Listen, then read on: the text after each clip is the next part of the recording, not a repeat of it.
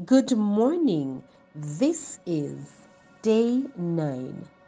The Lord will give grace and glory. No good thing will he withhold from those who walk uprightly.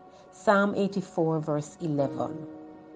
Five C's or two G's, written by Albert Lee. Young people in Singapore at one time aspired to have the five C's cash in the bank, career for the future, car to drive, condominium to live in, credit card to travel with.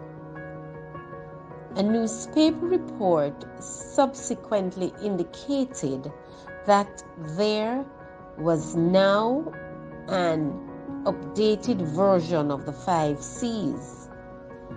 Connectivity to be tuned in, choices, and the more the merrier.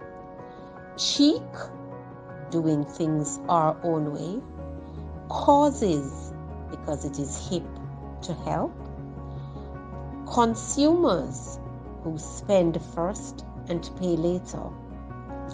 Instead of the five C's, Agur, the writer of Proverbs 30, asked for two G's from God His grace and goodness. He sought the grace of God to remove falsehood and lies far from him. He didn't want to fall into the trap of believing that corrupt principles, practices, and affections are acceptable. Agur also asked for the goodness of God to provide what he needed, no more and no less. He was concerned that poverty could cause him to become covetous and to disgrace God's name.